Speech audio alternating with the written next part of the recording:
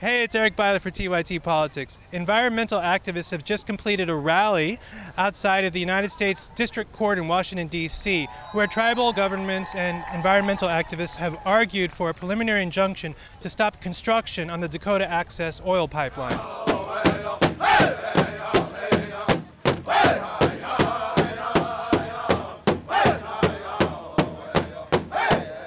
The Standing Rock Sioux Tribe uh, filed an injunction against the U.S. Army Corps of Engineers for issuing uh, permits for the Dakota Access Pipeline uh, to come within a half a mile of their uh, traditional territorial lands. Uh, the pipeline is scheduled uh, also to cross under the Missouri River, and that will also threaten the tribe's only source of fresh drinking water.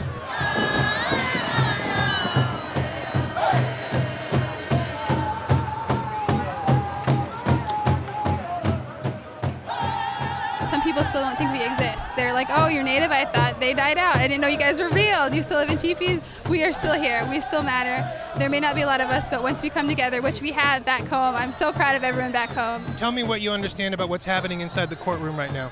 From what I understand in the courtroom right now is that, you know, we're speaking up. We're getting our chance because they didn't give us that chance before. So right now, our chairman, our council people are in there representing us and telling them that we don't want this. Construction of this pipeline will also destroy and disturb uh, many different sacred sites and burial grounds of the Sioux and other tribal nations in that region. We have to stand up and fight, as our grandparents did, our late grandparents, great grandparents, and it goes on and on.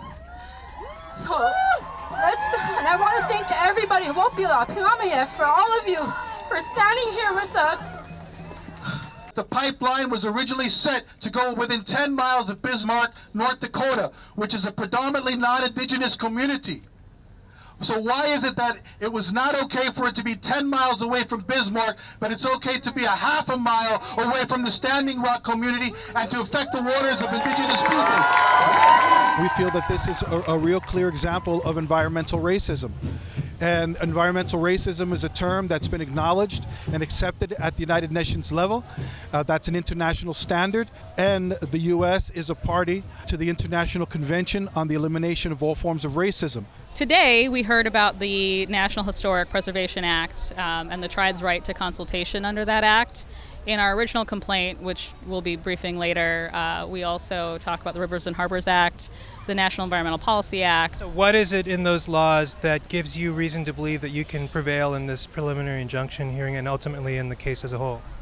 Basically, all we're asking is for the tribe to have a seat at the table when a multi billion dollar pipeline is putting risks and burdens on their doorstep. And that didn't happen here as it's described under the Act.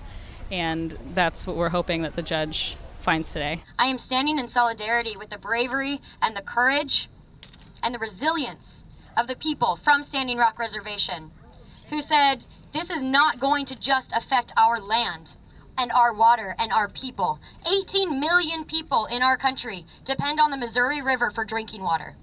And every single time we allow a pipeline to be built, whether it's the Dakota Access Pipeline, the pipelines that are going through West Texas, every time we, the people, allow that to happen, we are endorsing the fossil fuel industry. I'm like, I'm just a human being who wants clean water. I'm just a human being who wants a good future for my children. Like, you can call me an activist, you can call me an environmentalist, but really all I am is. Um, we love water, not oil. That's a good slogan. Do you know why you're here? Why are you here? So, so other people don't, um, through the pipes, they don't put oil. We want water there's really no place else for indigenous peoples to go, right? And so if you keep chipping away, chipping away, violating treaties, right, that we signed in good faith, which says that, you know, this is what we have left, right? This is what we have left for our people, our future generations. You're saying basically if it goes forward while the case is being adjudicated, uh, the harm could be so irreparable that it would almost be a moot point. Oh, well, the pipeline could be done. Where did you come from today? Um, Onondaga Nation. A long way? Um, yeah. Did you say, are we there yet the whole time? Yes.